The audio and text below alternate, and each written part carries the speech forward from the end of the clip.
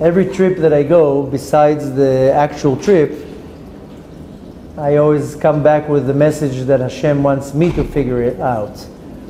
And uh, whether you know or not, this trip I didn't want to go to. There was a trip, if you follow the trips, June was London, that if you remember, many problems happened before and after the back, the car, the wheels exploding.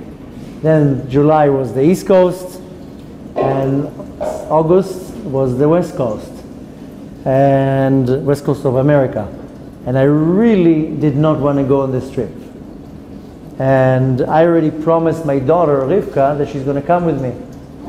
And I was really about, almost about to cancel the trip already. And she went a couple days to my parents, and I told my wife, you know what, I'm going to cancel the trip. I don't want to go. And I called my daughter and I told her, if I will cancel the trip, will you be very, very upset and disappointed? And I was like, I'm going to base my decision on what she says. And she says, yes. Meaning she's going to be very upset and disappointed. So I was like, okay, I guess I'm going. And from, I would say, 12 hours prior to the trip till I came back, anything and everything that can go wrong went wrong. This was like one event after the other of challenges, problems. You, can, you, you name it, this trip had it. And the finale, the grand finale of the trip is that I got stuck in Miami in the hurricane. I wasn't even supposed to go to Miami. The trip was concentrating on the West Coast. I was the majority of the time in Los Angeles, then another five days in Phoenix, and that's it. And the trip was supposed to be over. And last minute, they call us from some place in Miami. We want the rabbi to come to our lecture. I have a girl that runs the events, and she says them, no, I'm sorry. I mean, he's in the West Coast, he can't come. And she asks me, and I tell her, you know what? It might not be a bad idea after all, because I'm going to be in the West Coast, and it's a very long flight, 16-hour flight direct from Los Angeles to Israel. And if I fly to the East Coast, then I'm cutting the flight a little bit shorter. And I'm already on the continent, and if they're so uh, uh, interested in bringing me, and the community must must hear me, then fine.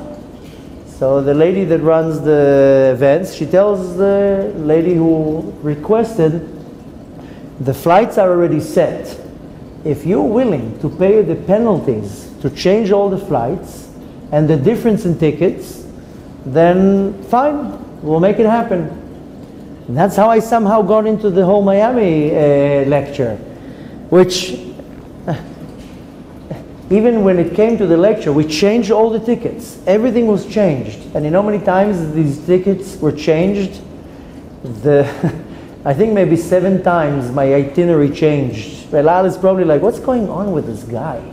Very undecisive. That doesn't know how to decide. One time he's flying here, one time he's flying there.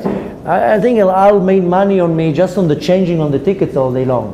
Baruch Hashem, I'm holding like the status in El Al they have like different statuses, like platinum, uh, whatever, because I fly all the time. I have a good status with El Al, so I'm, I'm, uh, I, I, I don't pay high penalties. Long story short, originally, the first Shabbat, I was supposed to have a Shabbaton in, in uh, Houston, in a community in Houston. And suddenly, two weeks before the, the Shabbaton, they canceled. And the, the lady that runs the event, she was like, what do you mean you're canceling? I mean, uh, I mean, we have already tickets. I mean, the whole schedule is based according to the Shabbaton. And not only that, I mean, what do you think? The, the rabbi is coming to America to, to do shopping and to go on tours. Eh, every day here is calculated. Now, he's, eh, we're not going to get a, a different community to uh, organize a Shabbaton in two weeks. So now he's just going to be sitting there for doing nothing. I told her, listen, that's Hashem's will, just, it's fine. And sure enough, that weekend was the hurricane, uh, what's his name? Andrew? What's his name? I forgot all the names. No, Irma is uh, Miami. Harvey. I don't even know who's the one who's sitting and inventing the names. I mean, I wonder the job, the job specifications, you need to name hurricanes. Who's the guy who's naming the hurricanes? Anyways, Harvey, Schmarvey, whatever the name is. That's when Harvey hit Houston, and Houston, you know, became an, un, uh, an underwater city. And I was supposed to be there for Shabbaton. This goes to show you how Hashem, you know, he, he moves whoever he wants, whenever he wants. So, so this whole Miami stop wasn't even supposed to happen, and the, the, the fact was that even after that was booked, suddenly they call and they say, we can't do Tuesday, can you do Wednesday? And what do you mean? The, the flights again, they're all booked already. Again, it moved. So anything and everything that can go wrong in that trip went wrong. I mean, every day was a whole new episode of something. So, Bezrat Hashem, like I told you, there's, uh, I have now material till Hanukkah to talk about. Hashem was literally testing my, my, my uh, uh abilities in belief, in emunah, in bitachon, in prayers, in patience, unbelievable patience. Hashem really you know, all the options he put on the table to test them. But, and Baruch Hashem, I mean, spiritually the trip was unbelievable. Every day there were lectures, big, big lectures, thousands of people were inspired. Spiritually the trips are always amazing. But I'm not talking about the, the physical part was the, all the challenges. Spiritually it was bemet unbelievable. And, and I saw physically with my eyes why in every station I had to be, the thousands of people that attended classes and lectures and between the morning has classes, the night has lectures, in between there's meetings. So I saw why I was needed there. But the things that, that really, really struck me the entire trip, because a lot of people tell me, told me, why do you think Hashem is doing this to you? Why is He putting you through all these tests? and all these uh, headaches and problems that you would think that you're going on the mission of Hashem, you're going on His shlichut, on His, uh, uh, uh, you're His emissary. Why wouldn't He make it smooth to you? That everything is smooth and convenient. So, one of the things that I, I took from that, and that's what I actually understood on the first day of the trip, because I really did not want to go. I had this heavy feeling that I don't want to go. And everything, and every day that something happened, my voice was like, I knew it. I shouldn't have gone. And every time something happened, you know, even when I came back, I mean, the last week was really the, the, the cream of the crop. To get stuck in a hurricane and you know, when I landed in Florida, then I started hearing about the hurricane because everybody was going wacko there. Everybody was going cuckoo. And everybody's going cuckoo, and my daughter and me are like, hey, what a beautiful place. We're in Miami. And it's not a beautiful place. They have like 5,000% humidity. It's not, not normal, this place. You just stand outside and, and, you, and you lose five pounds. I, I lost maybe 20 pounds in Miami. Eh, it's unbelievable. At night, 12 o'clock at night, it's just, you, it's just, I don't know how people live there. I do not know how people live there. And anyway, so my wife is telling me, did you hear? There's a hurricane, run away from there. I said, don't worry, hurricane, hurricane. The hurricane is scheduled to come on Saturday. Uh, my flight is leaving on Thursday. I came here, don't worry, I'm going to do my lectures and I'm going to leave. And no, they, they announced that they're closing the airport on Friday night. I was, had full confidence that Thursday morning, why would they cancel my flight? I can understand if my flight was Sunday. The hurricane, the scare was that it's supposed to hit Saturday night. I have Thursday, I have Friday, I have Saturday. Why should I leave, not leave? And sure enough, then my, my, my flight, I had a lecture on Wednesday night. I finished the lecture, maybe 1 o'clock. I come home to start packing, and I go online to check in, and I see the flight is canceled. And, now, and there were nine flights from JetBlue in the morning, just mine got canceled. I was like, why mine got canceled? And I was like, okay, I try to get a different flight. There were zero flights. And the only flights that you can get at, the, at that moment was like $1,500 for a small flight. And now what happened, I was stuck in Miami Beach. And the, the house where I stayed in, they, they fled for their life. So they called, I mean, the lady that was organizing the event called me and told me the house where you're staying, they, they're running away. You have to go and take your stuff. So, and I said, yeah, but I'm in Fort Lauderdale, I can't come now. They actually packed all our stuff and they took it to a different place because they just boarded the house and left. So I went to a different house. And that house was also, everything was boarded up. And they told me, no, we're leaving in the morning. And then they wake up in the morning and they see that I'm there because I missed my flight. And the guy tells me, why are you here? I said, because I missed my flight. I mean, I didn't miss my flight. The flight got canceled. So he tells me, you got to run away. I mean, we are in Miami Beach. Miami Beach is three feet above sea level. And the warning was 11 feet of water above sea level. So meaning the whole place is going to be underwater. And, and I was like, okay, I can't have any flights. What are my options? Okay, let me drive out of Miami. So people told me, don't even think of driving because there's no gas. The whole state of Florida, there's no gas. Everybody drank it. I don't know what they did with the gas. Everybody's filling up their cars and gas tanks for their generators. There wasn't any gas. The people told me, don't even think of driving because you're going to get stuck on a highway, you're not going to have gas, and then you're sleeping in a car. Besides the fact that the ones who did run away reported sitting 12 to 16 hours bumper to bumper in traffic. Can you imagine sitting 12 hours in a car? I started calling hotels. We called maybe 100 hotels. There was maybe five people calling for hotels. We couldn't even get a room. There was no rooms. So the guy where I stayed by, he told me, listen, I'm an engineer. I know how the hurricanes work. You have to move west of the I-95 anything that is east of the I-95 will get hurt and the buildings they stop the, the, the wind. Anything west of it is like a corridor where it's a safe place. Long story short I'll tell you about the whole Miami story another time. That's that's literally a, a, a whole story in itself.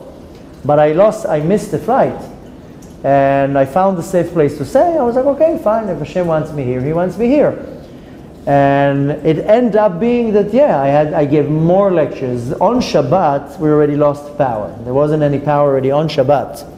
And it was Chai Elul, the birthday of the Baal Shem Tov, the birthday of the Baal HaTanya. It was the day the Baal Shem Tov was uh, revealed, the, the, day that the teacher of the Baal Shem Tov revealed to himself, revealed himself to him, the Achia Shiloni, the day that the Baal Shem Tov revealed himself. It was a very special day.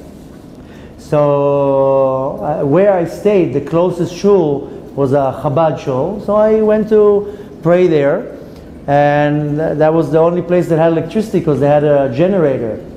So I, I, I mean, there was a lot of people there. That's when it all started already.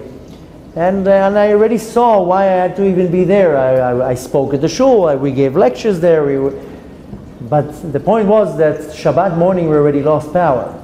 So there wasn't any electricity. And in the beginning, it's fun for the first three hours, and that's, that's when it stopped being fun. And, and of course, my daughter was very scared. And not only that, there wasn't any flights going out. All the flights were canceled. Long story short, I will tell you, Bezrat Hashem, about the adventures of the, of the hurricane. Which, you know, right away comes all the analogy of the hurricane. The name of the hurricane is Irma. And if you write Irma in Hebrew, it's Aleph Yud Reish Mem Hey that has the letters Yareh Mehashem, fear God. And, and of course, everybody started coming with all the analysis of the names and everything. And I don't know if you noticed that the path, how it went, looked like a shofar. You saw that? Yeah, So, anyways, there was all these miracles, but the point is, that I, I, don't worry, I will share with you all these stories of unbelievable miracles and how Hashem does things for, for you to see His greatness. But really, what I realized in this entire trip, and I realized it the day that I left, because the day that I left, I called a cab to take me. That's how it started. I go online to see when is the train, because I always take a train to the airport. I go online to see when is the train leaving, and there's big signs, no trains. There's construction, there is no trains. So what's my other option? A taxi that costs five times more than to take a train. Okay, no other option. I call around, anybody going to the airport, and I had five suitcases. I take with me all my CDs and all the flyers. It's much cheaper to do it here. Okay, I can't find a ride. Okay, have to take a taxi. I call the taxi. The taxi can't come and take me because it was the Klezmer. Cars cannot come into the city. so, so, that's how it started. I have suitcases that I had to roll down, all the way down to, to, to Lelov there, because the taxi could not come in. so that's how the trip started. And of course, uh, uh, minutes before I'm checking in, I'm getting an email from El Al, the flight is delayed. The trip didn't even started. I, I can't leave Tzfat and the flight is delayed. Long story short, that's when I already realized that Hashem is not consulting with us of our opinion. Hashem is not asking what is my opinion in the situation. He's not consulting, is it comfortable for you? Do you want to be here? Do you want to be there? You think sometimes that Hashem is considering our desire, my will, my opinion. That's when I realized Hashem is not asking. Hashem did not consult me, do you want the trip to be comfortable or not? Hashem says, I need you to go to point A, to do A, B, and C, and I'm going to decide the agenda, I'm going to decide the, how it's going to happen, and you just have to follow along. And that's when it hit me in the beginning of the trip, and I said, oh my gosh, this entire trip is going to be about Hashem proving to me that He's not consulting with me about anything. He's not asking me if I want to take a night flight, a morning flight, if I should, if the flight should be with a stop, without a stop, when is the date that I'm coming back. I set the date for September 8th and Hashem says, no, the trip is ending on September 14. You made a mistake when you booked the ticket. So I'm going to have to make you stuck in Florida because there's going to be another five lectures that you need to do there. So this is where I realized in a very humbling way that Hashem puts us on a path. He has a mission for each and every one of us. And he says, This is where I want you to go, this is where I want you to go, this is where I want you to go, this is what I want you to do, this is what I want you to do. And happens to be that I'm not even asking you if you are happy with the route or if you're happy with the job I gave you. You know, now I came back, uh, I gathered all my kids, and I told them, okay, there's going to be some changes in the house rules uh, ba based on many new uh, uh, uh, information that I have, we're changing some of the house rules. Okay, what are the changes of the house rules? I said you all have chores in the house.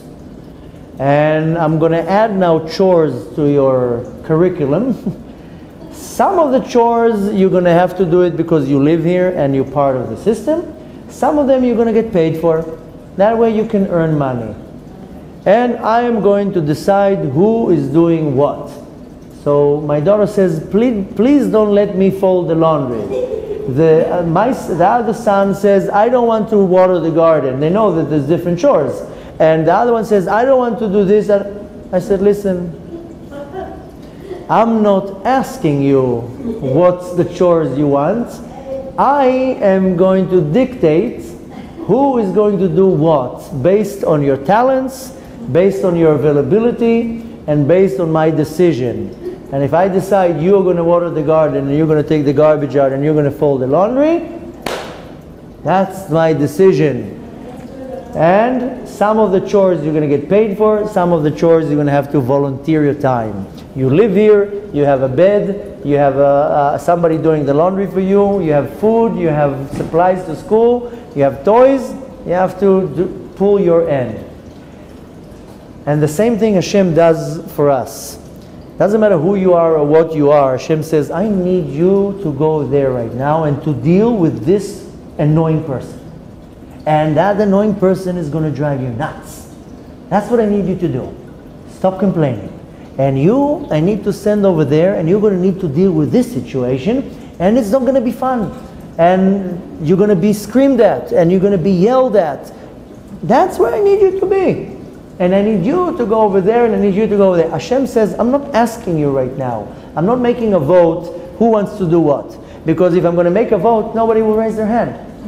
So I decide who goes where, who's going to have to deal with anything that I want you to deal with. And the entire theme of this entire trip was Hashem telling me, in other words, I organized your trip, not the girls who helping you organize your trips, and not the trip manager, and not El Al, and not nothing. I organize the trip. I will decide the stops, how long you're going to be in every stop, which flights you're going to take, where you're going to eat, how you're going to eat, because of all these changes in the flights, half the flights, they couldn't even give me kosher meals. Even the flight when I came back, I'm going to, Bezrat Hashem, maybe Tuesday, I'll tell you the story, how, what happened when I came back. It was not normal. Anything, literally anything that can go wrong went wrong. I lost my passports on the connecting flight. I mean, I forgot my passports on the connecting flight from Fort Lauderdale. I, I couldn't find any flights. I grabbed the first flight that I could from Fort Lauderdale to Boston. Why Boston? I don't know. Hashem wanted me to be in Boston. I had to had a half a day layover. And I forget the passports on the plane. There's no such a thing that uh, any airline will go let you go on a plane without your passports. I forgot my passports on the plane that took me from Fort Lauderdale to Boston. In the pocket inside. No? You have to hear the whole story. you know what? I'm the last thing that I am. I mean, I have many things that I need to work on. One thing that I can say on myself that I'm not, I am very organized and I'm not a schlumpiel. I don't forget I'm not a schlumpiel that forgets things around. I'm like a yeki, like a machine. Everything for me is like organized. I don't forget things. I have lists. Everything with me is lists and reminders. I have a pouch where my passports go in, that when they go out, they go in. I don't even know why. That's where you see how Hashem sometimes, He presses a button and He resets your system. I don't even know why I was holding the passports. I didn't even need the passports. And I went on the plane with the passports. And I don't even know what possessed me to put them in the pocket in the seat in front of me, and I forgot them. So, anyways, I'll tell you the story with the passports because that's an insane story that you see how Hashem orchestras a situation to then see how you're going to react. And if you react the right way, He performs a miracle. And you have to hear that story. That's the story that I shared on Friday. It's a funny story. Bezrat Hashem, maybe we'll do it on Tuesday. But the point is that I always come back from these trips with a message that I, that I need to understand. And if I need to understand that and I understood it, it means that I need to give it over. And the point is that as much as Hashem is amazing, Hashem is wonderful, He's a loving God, He gives us what we need. But there's one thing that He doesn't do is that He doesn't consult with us, what do I want? Sometimes He's like an airline company that says, do you want an uh, aisle seat or do you want a window seat? Sometimes maybe he will give me the option. But you know now, with all the times that I change all my flights, I didn't even have all the, the say. I told them, can you give me an aisle? We're sorry, we don't have tickets. When I flew out of Miami, out, out of Miami, uh, when I was on the call with the guy, he told me, you have this option, that option. I told him, even if you tie me with duct tape to the wing, I don't care how, just get me out of here. I don't care if I stand the whole flight fly me to Uzbekistan. I don't care. Just put me on any flight you have, even if I have to sit on the toilet the whole flight. I don't care. Aisle seat, not aisle seat, uh, the seat in the back, I don't care. So, and that's another thing that sometimes Hashem pushes you into a situation that you say, I don't care how, just get me out of here. So in this trip, Hashem was proving a very deep concept in our life that Hashem is not consulting with us on anything.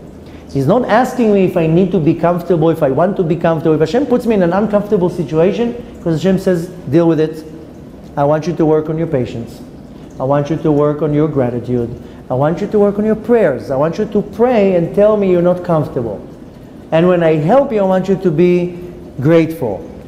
So, Bezrat Hashem, we will talk about all the adventures of the trip. At the end, at the end of your trip or this, uh, this whatever, you find out that this what you did was much more perfect than what you that you expected. Uh, in this trip, I can't say that that's the case because I was, uh, Hashem was obviously in my case in this trip was putting his foot down and saying, You are nothing.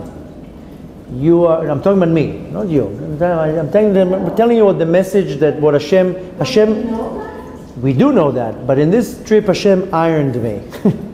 he made me this flat to tell me, I don't, even if you think, you, even if you think that what you're doing or how you're doing was supposed to, Hashem was telling me, I run the show. And this trip was not convenient, not comfortable. There was nothing comfortable for me in this trip. I mean, here and there a few good moments, and nothing was convenient in this trip. Hashem is basically was really taking me like this and telling me, it's not about you being comfortable. You're gonna actually be very uncomfortable, but you're still gonna put your best. You're gonna put the best of your time and your effort. I don't want to hear complaints. I don't want to hear whining. I don't want to hear anything. You are hired to do a job. Say thank you that it's you because some jobs are very bad jobs and some jobs are very prestige jobs. And you know how Hashem, Hashem is unbelievable. Hashem is so amazing. I am really going to tell you so many adventures that I had in this trip. At the end of this trip from hell, which again, chas v'shalom, I will not refine, define it like that. That's my wife's definition, the trip from hell. Then it was really, it took a toll on my family, it took a toll on me. I'm eating, you know it even took a toll on my luggages. All my luggages are broken. I never seen anything like it. All the luggages broke. First of all, I had five suitcases. They all were overweight. I, they're all broke, physically broke. I couldn't even take the luggages because the one luggage the handle broke, the other luggage got torn in the bone. My luggage even took a toll, and I was literally at the, my last breaths coming into to to to to, to Tzfat, and it's it's you know I traveled five days without four days without electricity, no showers, no sleeping, no nothing, eating apples, and flying to Boston, half a day layover, 12 hour flight to Israel and then I'm in Israel for a two hour train ride. and after a two hour train ride, and after a two hour train ride, an hour car ride from Akko to Tzfat. It's like it's like the never ending story. so as the the the, the yeah, but again, you know, you're done with the flight. Let me just go home, sit on a train for two hours with five suitcases that everybody's like, excuse me, excuse me, can you move your luggages? No, I can't.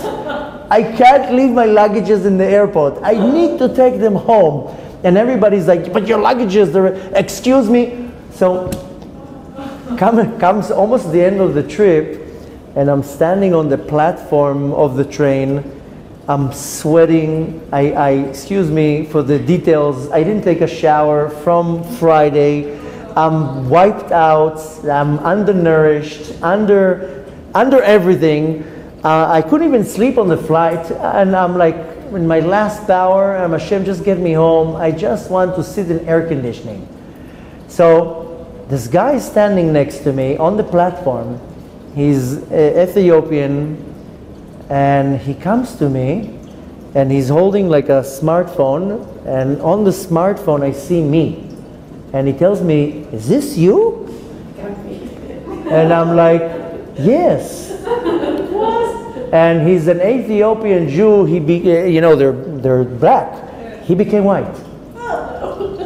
And it wasn't that he was like a, a, a religious uh, Jew with a yarmulke a secular and he's, he cannot believe it. He's like, you're not going to believe it. And he's showing me me on the, his phone. And he says, I'm watching all sorts of videos on YouTube.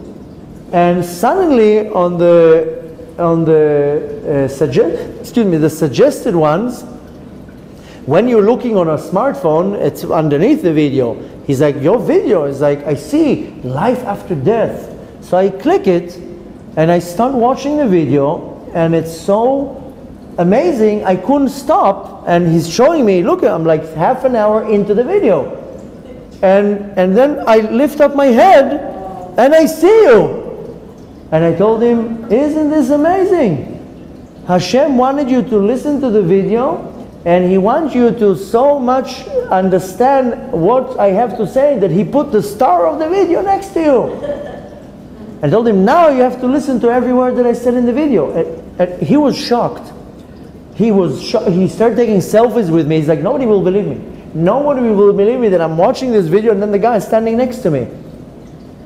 And I was like, this is Hashem's way of showing me, you, you know, this entire trip, you are going and you have to touch all these souls. I am not asking you right now what you want to do, and if you want to be in air conditioning or not. I'm not asking you right now. This is not the, uh, uh, you know, in Hebrew we say, Tochnit that you filling a request form, and I will consider what you want to do. That's how the trip ended. Then this guy is standing on the platform and he's telling me in Hebrew, Zehazui, Zehazui, Hazui. It's like, this is not normal. It's, this is, this is uh, unheard of.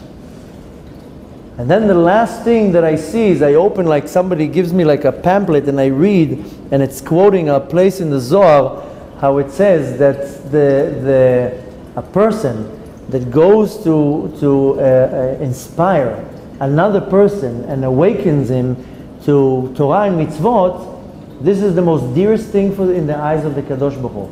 The most, the, the most sensitive part of, the, of Hashem is that another per, one person goes out of his way to wake up another person and to inspire them to do Torah and mitzvot. So it's closed the circle because again, and I'm not a spoiled individual. I, I don't ask the places that call me to come for a lecture. I know some speakers they have a list of demands.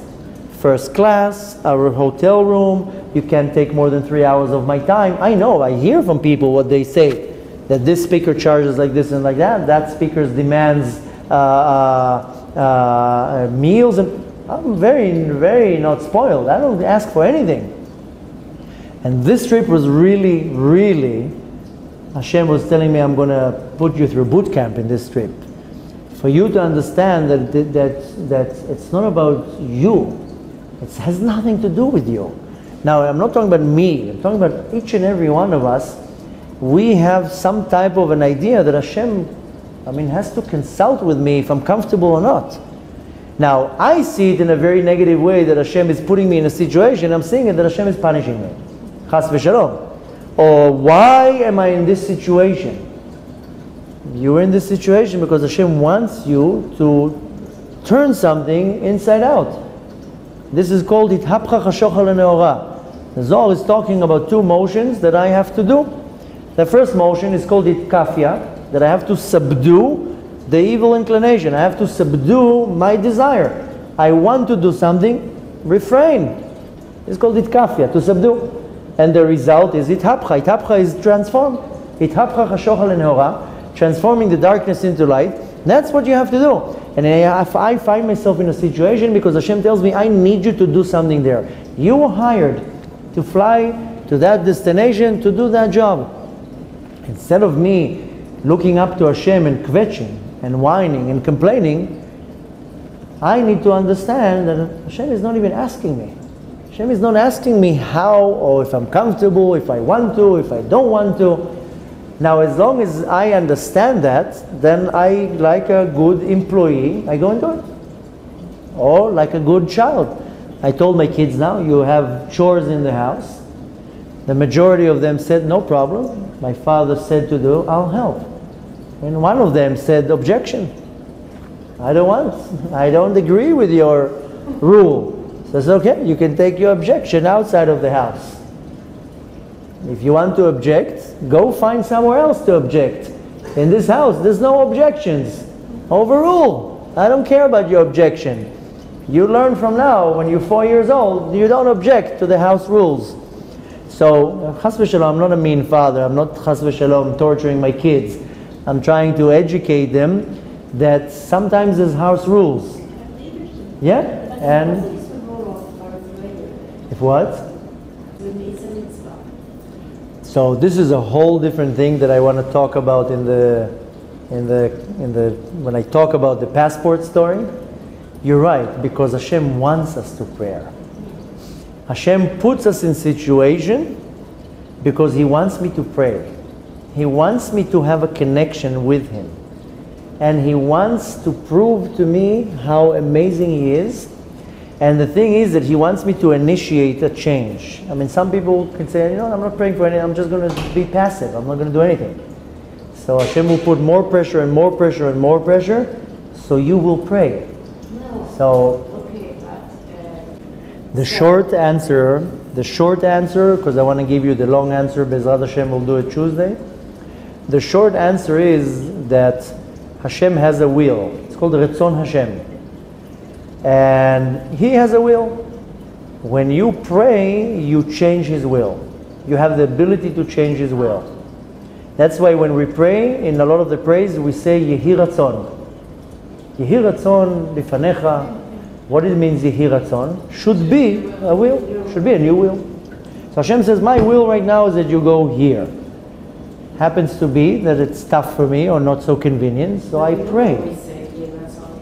We don't always say, but the concept, that's why I told you this is the short version of the answer, is that I pray and I change Hashem's will. And sometimes it's Hashem's will that is not going to be changed. So I have to pray for A, for I want Hashem's will to change, or that at least that if I'm going on a certain path, that is going to be how you said, that the strings are not going to hurt too much. But regardless to that, we need to, to take from that, I mean, how I feel is when I experience something on myself, is so I can psychoanalyze it, chew on it, digest it, and then deliver it to my students. And when I go on a trip, yes, in my mind, at least in the back of my mind, I'm not, I'm not doing it for myself. I don't enjoy these trips. Even, even before I went on this trip, and I kept telling my wife, for three weeks, I don't want to go. I mean, I came back from New York, if you remember. Three weeks later, exactly was scheduled the trip to Los Angeles. Three weeks. It took me two weeks to get over the jet lag. And I kept telling my wife, I don't want to go. And she was like, What, you don't enjoy these trips? You must enjoy the trips. I told her, I don't enjoy nothing. She was like, Yeah, but you hosted in nice houses and you know people spoil you. I mean, I, I, I, if I want to look at it like that, yeah, I, I, I do get hosted in beautiful places. And every day somebody else wants to treat me. They take me to nice restaurants, but I don't like it. That, that's not the, what convinces me. You know, when my wife told me, you must like something. It can't be that you don't like anything in the strips. So my answer was very superficial. I told her, you know what, I actually do like something in these trips. I rent a nice car. so, because I travel with so many boxes and we have CDs and books and pamphlets and flyers and the suitcases. I always rent a nice big SUV, and I uh, that's that's my that's my weakness, the cars. So I told her it is. Yeah, I do like one thing is the cars, but I really don't like these trips. So the point is that I always try to find in between the lines what's for me to learn there. It's not only me going and teaching; it's also for me to learn something. And this trip, the, the, the character trait of the trip, what kept repeating it itself, is Hashem is saying, in an, it was echoing in my system that I am not asking you or consulting with you if you are happy or not or comfortable or not. I'm not an airline company that will ask you if you want an aisle seat or a window seat.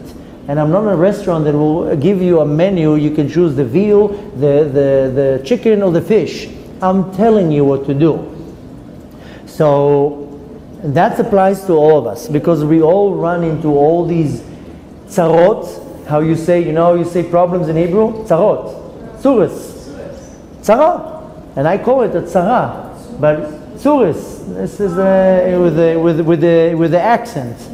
It's, in Hebrew you say tzarot, and in the Ashkenaz accent you say tzuris. So tzara has the letters of tzadik, reish, hey. Really, it's us that is reading it wrong. It's really ratza, reish, tzadik, hey. Same letters, just a different uh, order. Ratza means he wants. Hashem wants. That's what Hashem wants. I'm looking at it as a tzara, as a problem. The, pro- the, the, the, the thing is that the, the problem is in me, not in Hashem. So the, what I took from that and what I take from that and what I give over is that Hashem is really not asking us. I have to be a good soldier, a good student, and say to Hashem, that's what you want. Let me do it the best way possible. And if I do it the best way possible and I accept that that's the will of Hashem, and I don't cry, whine, or, or complain all day long, then the problem kind of wears down. It's not so bad. More than that, it allows Hashem to operate. Because when I think that I can control something, I have zero control. You know that when I landed in uh, Los Angeles, I'll tell you one more story.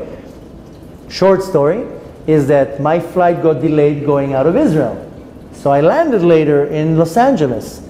I go to the car rental place. I walk in and I tell her I have a reservation. She tells me we can't give you a car. I said, but I have a reservation. She says, but you're late. I told her, what do you mean I'm late? I told her, I, I, did you look at the reservation that I'm coming from a different country? That's a very natural thing that flights get delayed. I mean, what did you do? You sold the car? What do you mean I'm late? What kind of a rental company is that? You late? No, we have to charge you a penalty. I said, so okay, so, so tell me you want to charge me more money. Don't tell me I'm late. Long story short, she's like, really, we don't have the car for you. So she was like, but we can upgrade you to a better car, which will cost you an additional. I said, ah, so just tell me you're trying to upgrade me now to a much more expensive car.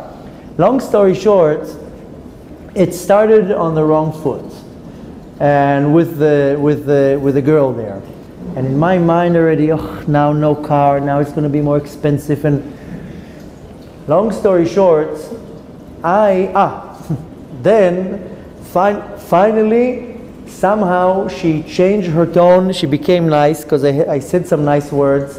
I wasn't chas v'shalom treating her with disrespect or anything like many many people do. So suddenly she became a good friend. Okay, finally we, we located the right car. Then I come with my credit card, and today's credit cards they have this chip. So we put the chip, and she was like, "What's your passport? Pa- password?" I don't know what's my password. I never use a password. So you can't use the card. Okay, bring another card. Okay, that card also has the chip. Okay, so all the cards had this chip. So they tried to to to fake the system. So what they do is they put the card the other way around. So it says error, card error. They do it three times. Then it says swipe card. So they're trying to to to jig the system. So what it did, it flagged uh, in the credit card company like a weird transaction. So they canceled all, all my credit cards got uh, blocked. So, I mean, everything that went that can go wrong went wrong. So now I tell her, okay, so I have a debit card. I have an American debit card. We don't accept debit cards. I said, there's money there. Charge the card. So she says, okay, so show me a return ticket. I said, okay. And I pull up my phone. I was like, I don't have internet here. Do you have Wi Fi? No. And I was like, so how am I going to show you my return ticket? Long story short, she was really nice. She was like, here, uh, uh, I'll make a hotspot with my phone. She ended up being very, very helpful. And in the end, everything worked out. We paid, and, and I got the car. But the point is that Hashem puts us a, a situation, and I have zero a, a power. I can't do anything. She told me, what's the password, password for the credit card? I don't know. I have zero power here. I, she's like, maybe you can call. And who am I going to call? Who am I going to call to ask? I'm going to call my rabbi. Hey, rabbi, do you know my the password password of my credit card? I told her nobody knows the password of my credit card. So what? Not even. Not even me. Call the bank. You think the bank knows my password? So. And uh, Hashem is basically telling me you have zero, zero power here. The more you subdue, then I'll, I'll, I'll take the charge. And the second that I did that, then Hashem made her nice. She was not nice in the beginning. Probably a different Jew with a long beard and a black yarmulke did, did behave disgusting, and she didn't want to help me. And Baruch Hashem, she suddenly became very, very helpful to a point that she was so helpful, she did everything and everything possible to get me the car. And which that was the proof that Hashem says, You have zero power here, I have the power. Give me the power and I will operate.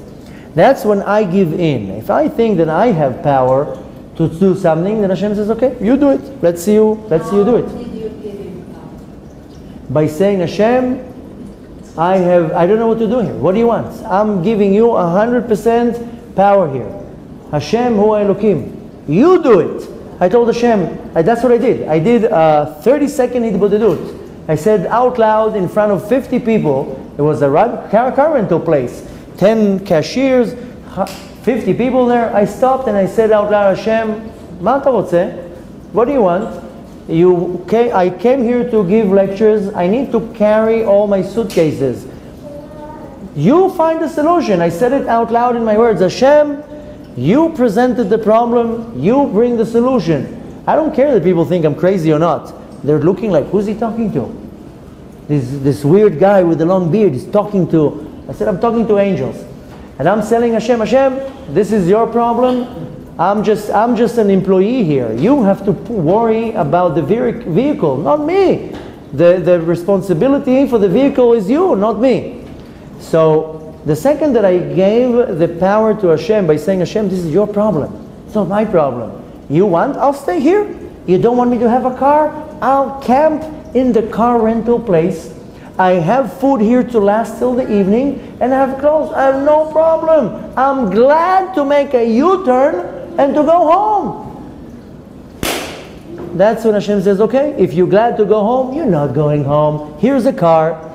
So when you give power to the Kadosh Baruch Hu, then He makes things work. So the point to take is very simple: that Hashem is the one who controls the, the everything. He's holding the reins, and you just have to follow on the tracks of Hashem, and not to have one moment of saying, "Wait a minute, you didn't consult me. You didn't ask me my opinion." If I'm stopping to say, "Hashem, you didn't ask my opinion," okay, you'll stay another week in America. You mean when we protest? What? You mean when we protest? If you protest, if you complain, if you kvetch, if you whine, if you say Hashem, I don't deserve it, Hashem says, I, I booked your tour, you do what I tell you to do. If we apply this to our day-to-day life, that Hashem is in control, if we give Him the control, trust me, He knows what He's doing. Sometimes the ride is going to be a little bit bumpy, but He knows what's good for me. And I have to go through this ride. And the more that I subdue myself and I say, Hashem, okay, you, you run the show however you want to show, then I'm, I know at least I'm going on the right path. The point to take to that, that is not to have chas v'shalom, the chutzpah of saying, Hashem, you're not consulting with me. I don't like your decision. I don't like this and that. And when we don't do that, that's when Hashem puts me on the right path. Yes, it's not going to be so comfortable always, but it's the path that Hashem wants me to go on. And obviously, I have to do a few things there, and that's the will of the Kadosh Baruch Hu. Bezrat Hashem, we should always fulfill the will of the Kadosh Baruch Hu, and that His will should be our will, and that we couldn't fulfill it, that our will should be His will. Bezrat Hashem, Hashem's will should be to send us Mashiach, that we don't have to go to America anymore and be uh, in hurricanes, and we can stay here and enjoy this holy, beautiful place.